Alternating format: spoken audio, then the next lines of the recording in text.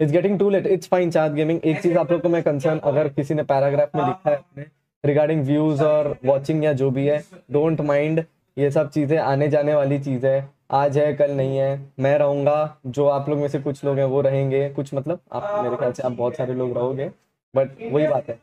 उतना ही मैटर करता है। एंड देखो, ऐसी बात नहीं है। Maybe some people are busy not necessary कि uh, मैंने लेट स्टार्ट किया या मैं बिना किसी अपडेट के स्टार्ट किया स्ट्रीम ऐसा कुछ नहीं होता maybe some people are busy out to you Bangalore mafia